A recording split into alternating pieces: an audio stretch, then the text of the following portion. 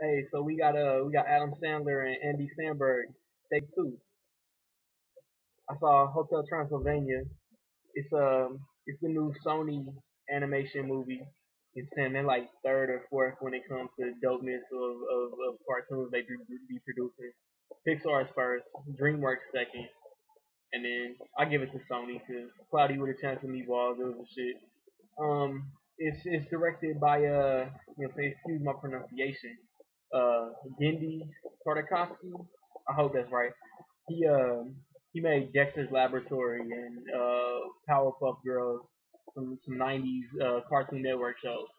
Um, like I said though, Adam Sandler he plays Dracula. Uh, let me see if I can run down all these characters, man. Um, Selena Gomez she plays Dracula's daughter.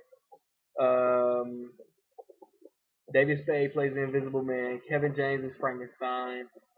Steve Buscemi is the Wolfman. Uh, Jon Lovitz is Quasimodo. CeeLo Green is uh, the Mummy. David Spade is the Invisible Man. Repeated myself. So what? Um, is he Fran Drescher is in this joint?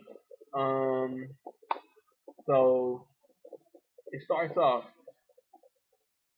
You know what I'm saying? Uh, Dracula is, is reading and singing lullabies to his little baby daughter, and when she's when she's a baby and like I don't know, man, maybe like a little kid. She's voiced by, by Adam Sandler's actual daughter. Um, the Dracula's Dracula's wife or uh, ex, not ex-wife. I ain't gonna say ex-wife. That's not true at all. Um, the the girl that Dracula was married to, you know what I'm saying, his baby mom, is voiced by Adam Sandler's real actual wife, and that's cool that he be incorporating his family in the movie.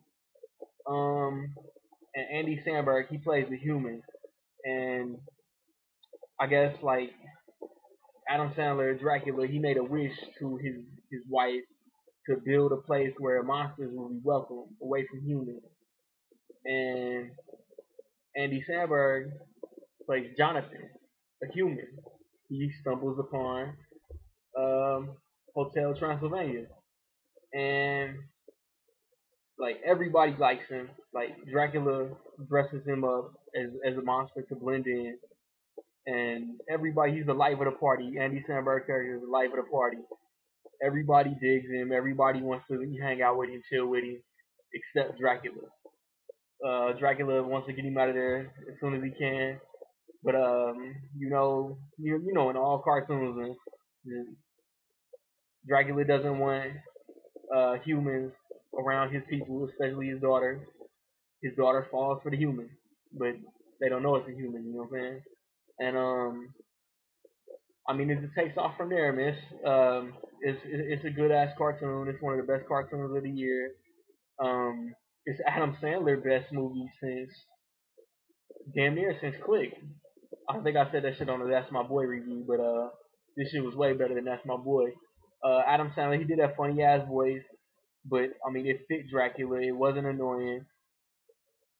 Everybody, everybody was funny. Kevin James was funny. David Spade was funny. Steve Buscemi. I'm surprised Chris Rock didn't didn't play the mummy. Um, um, they they they they take a cheap shot at Twilight, a well deserved cheap shot. Thumbs up. It was hilarious. Um, in my opinion, man, Hotel Transylvania. So uh, let me know 2012 your best cartoon, your favorite cartoon this year, your favorite Adam Sandler movie. Um, what other cartoons are coming out? Are you looking forward to Frank and Frankenweenie? Are you looking forward to Rise of the Guardians? Um, stay tuned to my joints, like I be saying.